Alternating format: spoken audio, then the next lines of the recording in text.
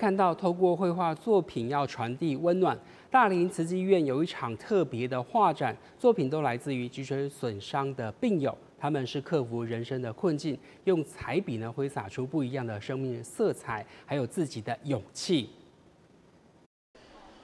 一幅幅色彩鲜艳的作品在大林慈济医院二楼回廊展出，十位艺术家都是脊髓损伤病友。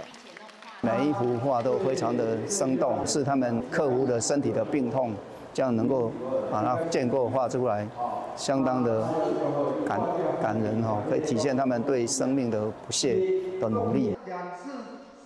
坐着轮椅上台分享心情。从小罹患小儿麻痹的郭竹友，因2002年一场车祸意外导致胸椎骨折，从此以轮椅代步。他透过挥洒彩笔，找回自己的生命力。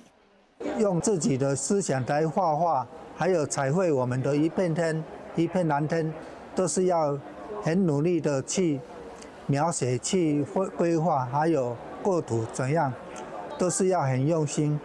给予最大的支持和鼓励，大林慈济医院替脊髓损伤病友开画展。开展这天还有整合各科的联合门诊。我希望伤友们来一次就可以看很多科系，而且这些医生们都比较了解你们的疾病的医生，让你们不会那么辛苦一直奔波，他们义不容辞。联合门诊将规划每季一次，提供脊髓损伤病友更完善的医疗照护。大爱新闻加以综合报道。